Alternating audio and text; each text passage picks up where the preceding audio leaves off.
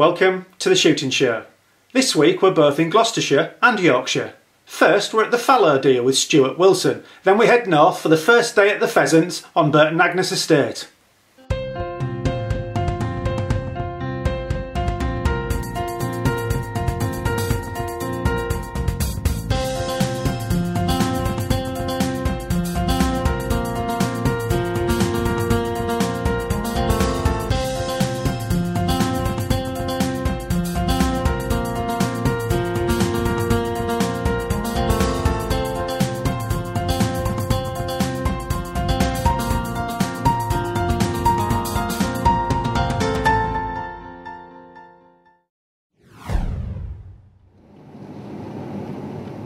Soon after dawn, estate stalkers Griff and Jon, accompanied by Stuart, aka Boy Blunder, head out to their respective positions. What we'll do, we'll just have a quick look up in this field. I'll drive up the hill, look in this field, see if there's anything there. Stuart will be foot stalking and hopefully moving deer to the guys in the high seats. Can you get cameras that have got the image stabilising built into them, Stu? You can, but they're Oh, are they?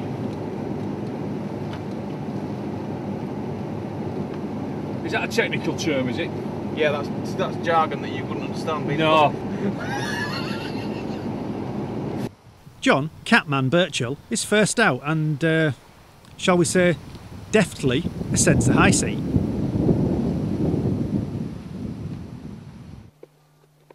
Whilst Jon gets comfy, Stuart is at the other side of the wood. The wind is being fickle, but the plan is to stalk through quietly and at the very least move deer towards Jon or Griff.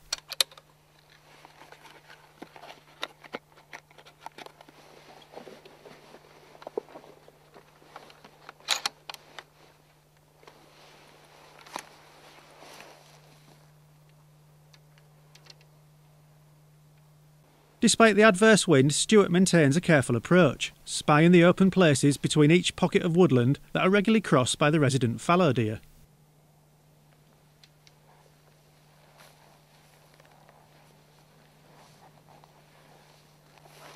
Nothing shows for Stuart, but it seems Jon's position may prove a better bet.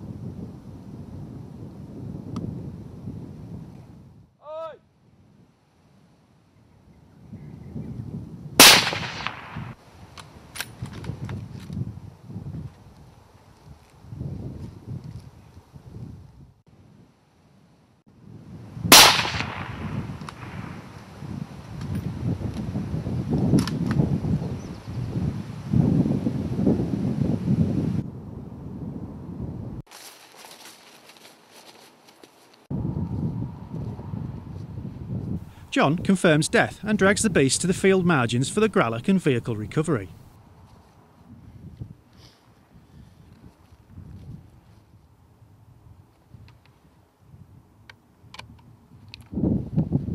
Griff and Stuart are conspicuous by their absence, and Jon will be on his own to sort out these two.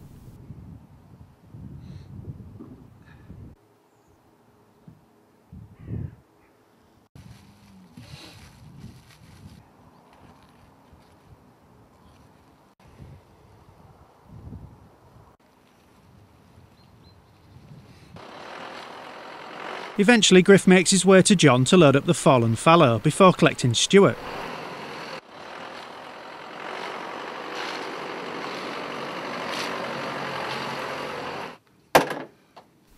It's back to the larder to complete the field dressing before hanging the beasts in the chiller. And Jon lets us know that it's not all fun and looks forward to the next couple of outings with cautious optimism. We're a little bit under pressure to keep the numbers down, so that's the um, the main objective, uh, and um, we'll see what happens later on and uh, and tomorrow.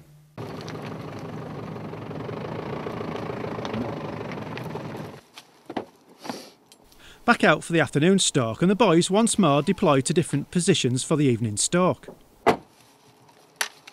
Jon explains his responsibilities, deer movements, and the ambush plan.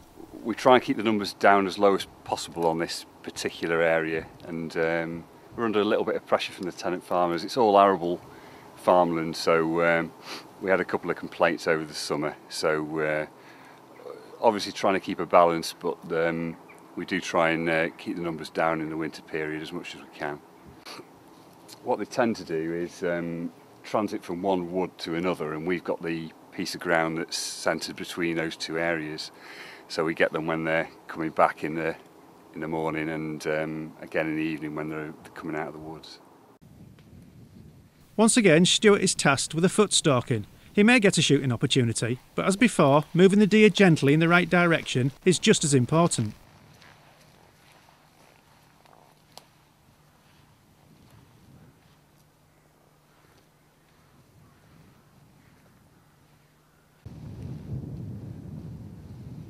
Stuart continually glasses the area, paying particular attention to the wood just through the hedge as it's a known hotspot.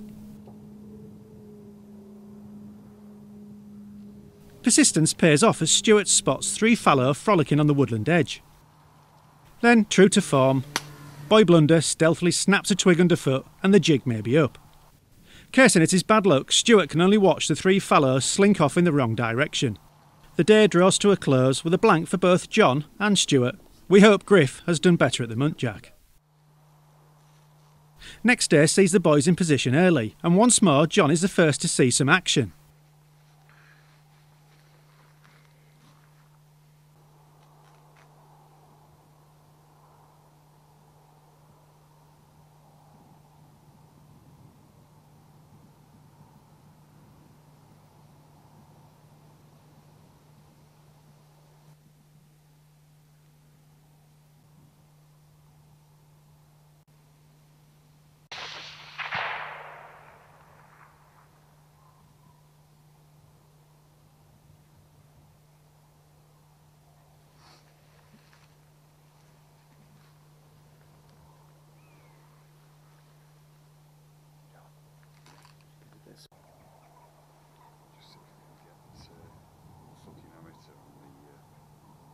Our cameraman is at the foot of the ladder here, and it is his view we are watching.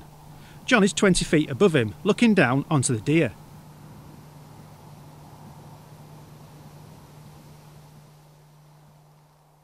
Oi!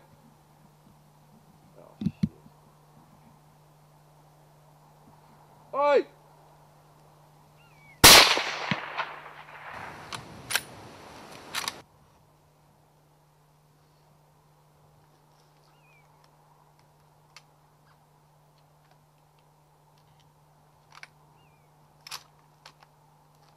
Doing the double seems to be habit forming where Jon's concerned. Golden Boy retrieves the fallen to do the necessaries.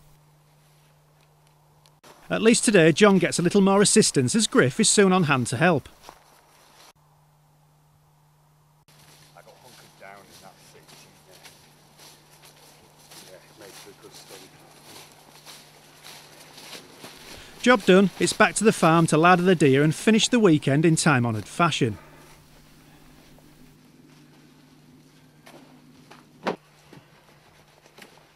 Stuart rounds up the boys' success and his lack of in as sporting a manner as he can muster. We've unfortunately come to the end of a fantastic stalking weekend in Gloucestershire with my good friends Jon and Griff. Um, been very successful, been fairly lucky with the weather throughout. Wind problems occasionally messing up some of the stalks, which has made it a little bit more difficult on, on small pockets of woodland. I did my boy blunder impression and managed to spook three, ended up not dropping a single thing or even firing a shot in anger.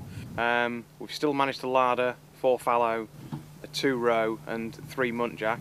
So extremely enjoyable, very successful and can't wait to do it again.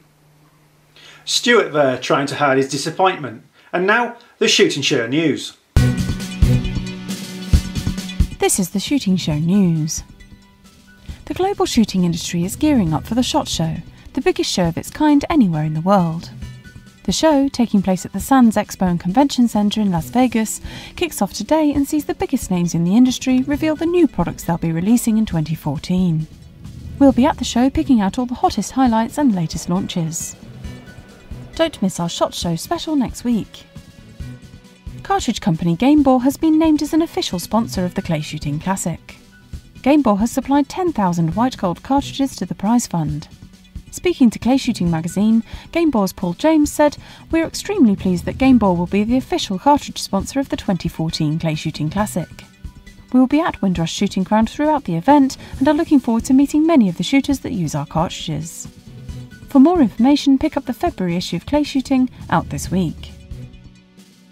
BASC has stepped in to do a government funded body's job for it as the debate over general licences continues. The Welsh general licences are normally published by Natural Resources Wales, but a technical error delayed their release. BASC then published the licences on the body's behalf. There were no changes to the Welsh general licence for 2014. The latest minutes from the Lead Ammunition Group have been published. They include a presentation about the risks to human health from the ingestion of lead and a discussion of how much lead contaminated land there is in the UK. Crucially, the group has reached no conclusions as yet, but it did say it had seen sufficient evidence of potential risks to begin considering possible mitigation measures. A final report is expected to appear in early 2014. And finally, gamekeepers are seeking assurances that their jobs will not be affected by the Scottish land reform. Speaking ahead of a BBC documentary on land ownership, the SGA's Alex Hogg said rural workers such as gamekeepers, gillies, and their families will be deeply worried at what the Scottish Government's land reform drive will mean for their livelihoods. It seems that the voice and the jobs of the working keepers are being forgotten in this debate. That was the Shooting Show News.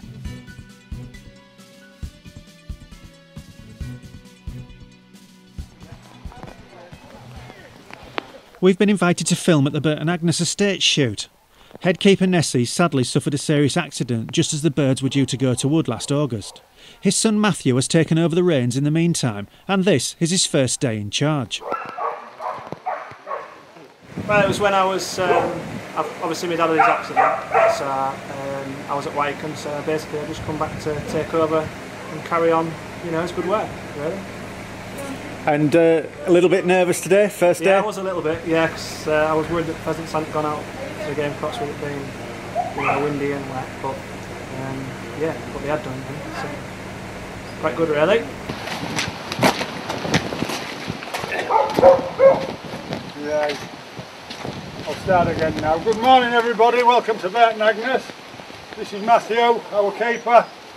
Arthur, his granddad. I've had the privilege of knowing the family for 50 years. Uh, you all know probably the story about David and why he's not here today. Matthew's turnover. I was with him on Tuesday and he, he, said he'll be thinking about us all and he wished us all a good day uh, and he's going to keep in touch. Uh, and I just want to wish Matthew all the best for today. I've known him all his life and he's plagued me all my, all my life and I suppose he still will. all I can say is have a good day and over to Matthew to say what he wants to say to you all. Right chaps, uh, there's no, no ground game, no foxes. Um, I don't want to see anybody blowing, you know, blowing anything up. But then again, I don't want to be here at, we're going to be here at dark neither. So um, just basically use your common sense. There is nine guns and there will be, um, there'll be a back gun, there'll be a back gun here and there. So just be careful, please. And also, there's no grey cartridges. How much is that then? As much as what you want. and uh, Julian's looking after you as well, he'll put you out and he'll keep you right. So that's about all. Enjoy your day. Um, Introduction complete, we load up and move out. The first drive the guns and beaters will be heading to is an artichoke game strip that should produce some high flyers back to the home wood.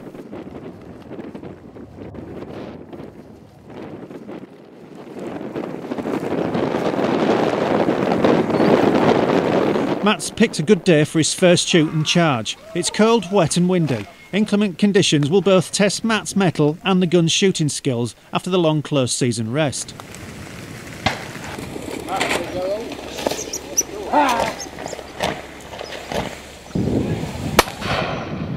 Straight away, we're into the action with a few pheasants breaking cover early and flying as required over the line of guns. It's good news for our filming team too, who for once seem to have got themselves in the right place. We send one cameraman to follow the beaters and the other to stand with a line of guns as they take on the higher birds. Are we alright here, Matt? Yeah. Get black bobbing.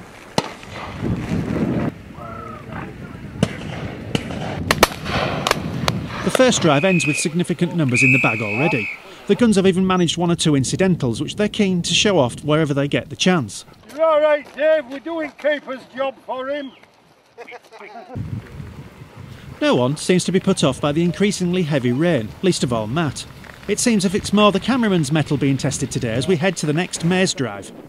Drive number two is a very thick maize cover, and the beaters and dogs have to work slow and hard to push out the pheasants from this dense crop.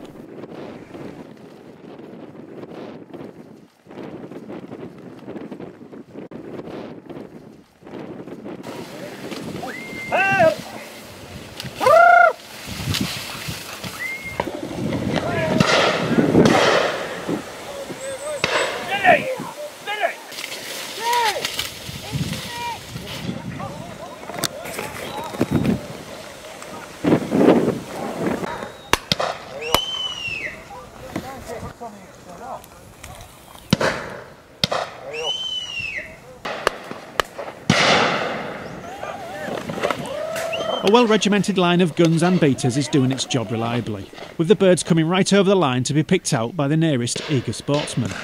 As the second drive ends, it seems young keeper Matt has kept everybody happy, although our magpie wielding friend still has a few kind words of advice. Smile, there's our camera. That's not organising bloody school kids. Alright, John Bobby. Uh. After enjoying 11s and taking a moment to enjoy the fine Yorkshire weather, we head out for the next drive of the day.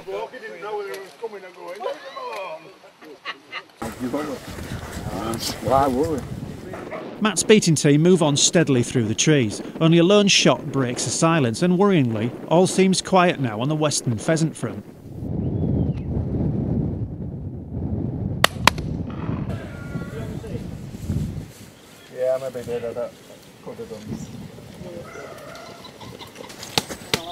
The birds appear to be staying in cover and seem reluctant to fly into the rain. This carries its own particular set of difficulties. Matt ups the tempo, finally forcing the tight sitting birds to flush.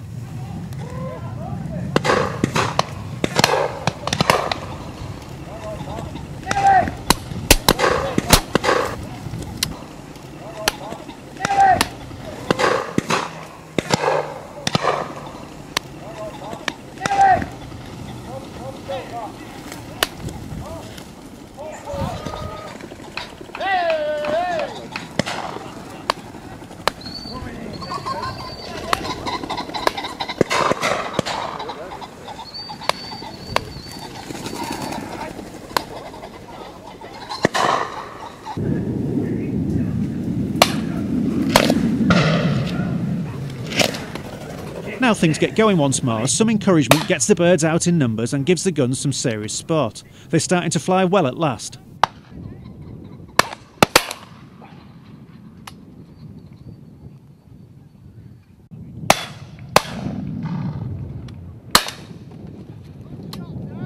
Beaters, dogs, and guns are working like a well oiled machine, and even the weather has now lent us a hand. It stopped raining, and hopefully it will stay that way to the day's end.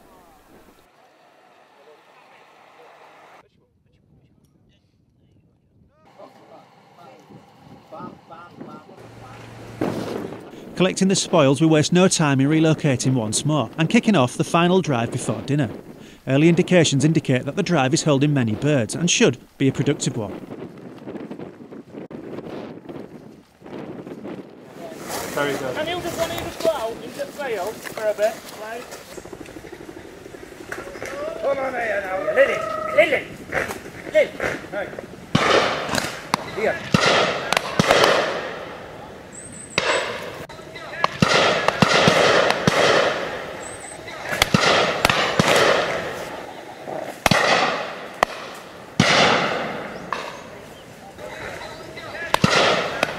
With birds flushing out and increasing numbers, this drive is shaping up to be a real cracker. Everything is coming together nicely. The guns, beaters, and keeper are clearly enjoying the shooting day.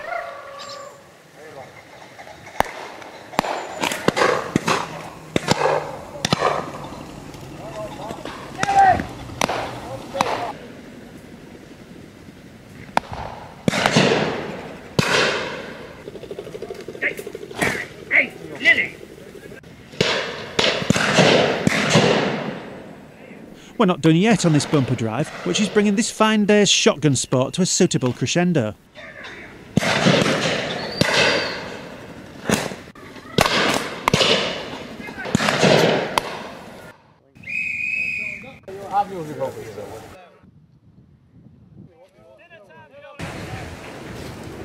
It's time to update the running tally of pheasants for the day. The count is at around 90 and not far away from the booked 100 birds. We'd head off to a couple of outside drives to make a day of it and not bust the bag too early.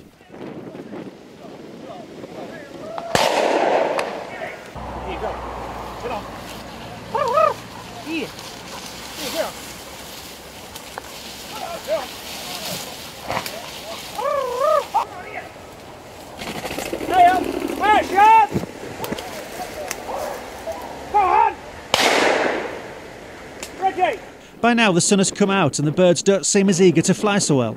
But the beaters skillfully push them into the breeze to curl better over the guns, and a few more birds join the bag. Matt gets stuck in once more to provide the visiting guns with some final shots and round off what has been an impressive day for both guns and keeper.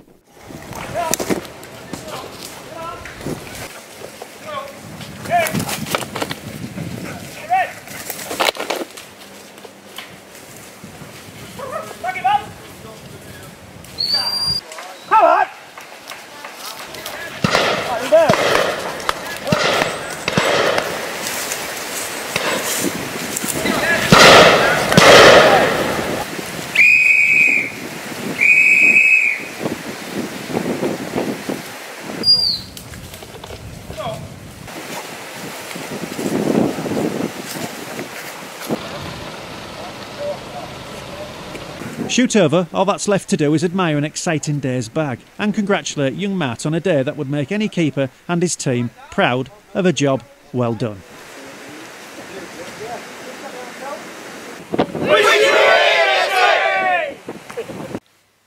Well, that's it for this week. Thanks for watching. Please don't forget to like us on Facebook and follow us on Twitter. This has been The Shooting Show.